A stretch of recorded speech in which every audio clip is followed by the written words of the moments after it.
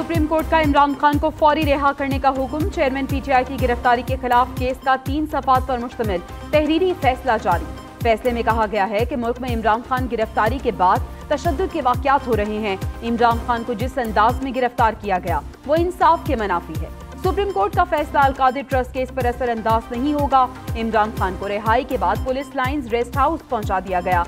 Chairman PTI अपने दोस्तों और रिश्तेदारों से मिल सकेंगे। अदालत की आज इस्लामाबाद हाईकोर्ट में पेश होने की हिदायत। चीफ जस्टिस उमर अता ने रिमार्क्स दिए। अगर हाईकोर्ट रिलीफ दे तो आपको रिलीफ मिलेगा। अदालत जो हुक्म देगी, आप उस पर अमल करने के पाबंद होंगे।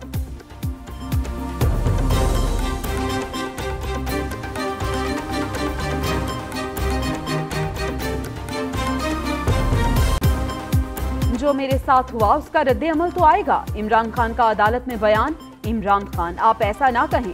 जस्टिस अतम मिनल्ला के रिमार्क्स कहा मीडिया मौजूद है एहतियात से बात करें। चीफ जस्टिस ने कहा, मुझे कहा गया, आपके घर पर भी हमला हो सकता है। अपने सपोर्टर्स को पुरम रहने का पैगाम दे। आप अपना मजम्मती बयान अदालत में ही देंगे। इमरान खान ने कहा, इनके सर पर डंडे मारे गए। दहशतगर्द की तरह पकड़ कर ले गए। मुझे पता नहीं मुल्क में क्या हुआ है। जस्टिस अतर मिनल्ला ने रिमार्क्स दिए, आप खुशकिस्मत हैं। आपसे बदतर दूसरे रहनुमाओं के साथ हुआ। मोहतरमा की शहादत हुई, किसी ने पुरतशद मुजाहरों का नहीं कहा। आसिफ जरदारी ने पुरतशद मुजाहरे खत्म कराए।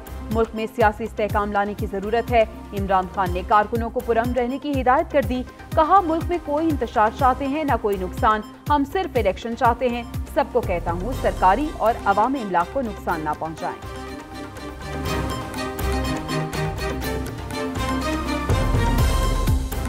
आपको देखकर खुशी हुई। समाज शुरू होने पर चीफ जस्टिस उमर अता बंदयाल ने रिमार्क्स दिए, मुल्क में आपकी गिरफ्तारी के बाद तशद के वाकत हो रहे हैं। हम मुल्क में अमन चाहते हैं। अदालत आने का मतलब है एक शख्स कोर्ट के सामने सरेंडर करता है। वारंट कानूनी थे या नहीं, गिरफ्तारी गैर कानूनी थी। हम इस गिरफ्तारी को वापस कर रहे हैं। आइंदा कोर्ट के अंदर से किसी को गिरफ़्तार करने की इजाज़त नहीं होगी। अहाता अदालत से गिरफ्तारी नहीं हो सकती। ऐसे तो अदालतें गिरफ्तारी में सहूलतकार बन जाएँगी। जस्टिस अतर मिनल्ला ने रिमार्क्स किए ऐसे गिरफ्तारियाँ होने लगी तो कोई अदालत की तरफ़ रुख नहीं करेगा। किसी शख्स ने अदालत में सरेंडर कर दिया तो इसे गिरफ़्तार नहीं किया जा सकता। जस्टिस मोहम्मद अली मजहर ने रिमार्क्स दिए, जो भी अदालत के सामने सरेंडर कर दे, उसको रिलीफ मिलना चाहिए।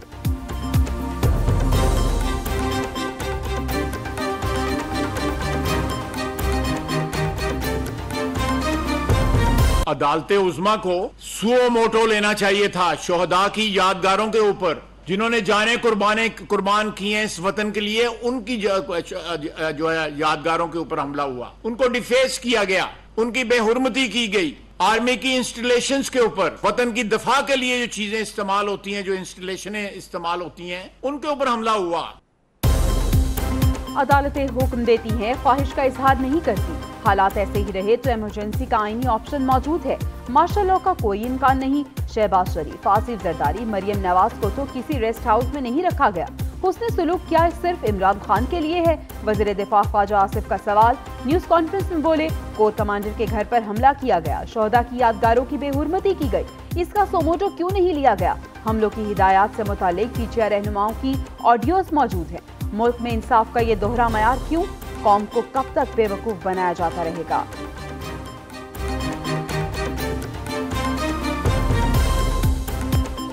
हुक्मरान इतिहाद का सुप्रीम कोर्ट के फैसले पर शदीद तहफात का इजहार। वज़ीर आज़म के इतिहादियों से रबते।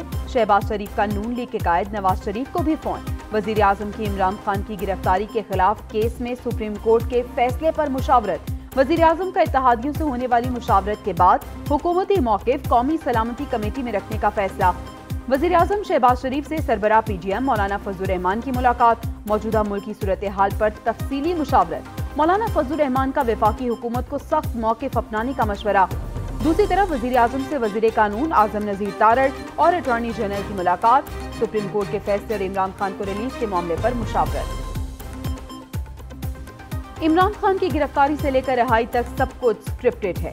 सुप्रीम कोर्ट से जो फैसला आया, इसकी ऑडियो एक दिन पहले चल चुकी थी।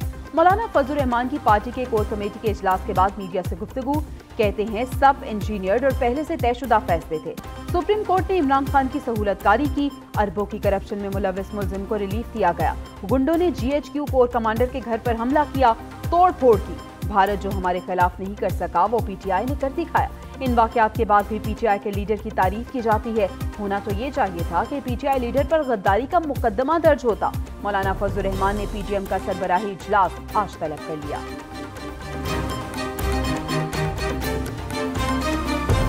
ये नहीं ये क्या कर रहा है ये जो चीफ जस्टिस है?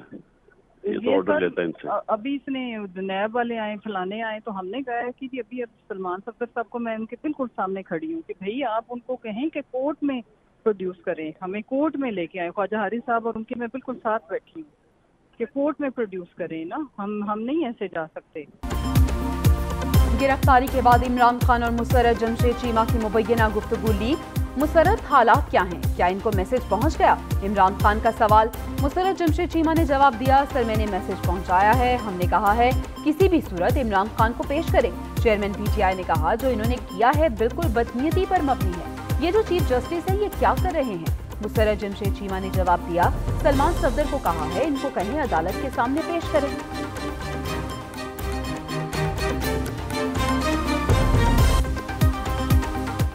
पीटीआई की क्यादत ने मुसल्ला जत्थों को तशद पर उकसाया। मुल्क में दहशत गर्द और मुसल्ला जत्थे रियासती और अवामी इमलाक पर हमलावर हुए। इमरान खान ने साठ अरब रुपए की कौमी खजाने से चोरी की। विफाकी वज़ीर मरियम औरंगज़ेब कहती हैं, नैब ने इमरान खान को कानूनी तरीके से गिरफ़्तार किया और एहतसाब अदालत में पेश किया। इमरान खान ने अलकादिर ट्रस्ट करप्शन केस में साठ अरब रुपए की चोरी की। ये नैब की तारीख का पहला मुलजिम है, जिसकी अपील अड़तालीस घंटे में समाप्त के लिए लगाई गई।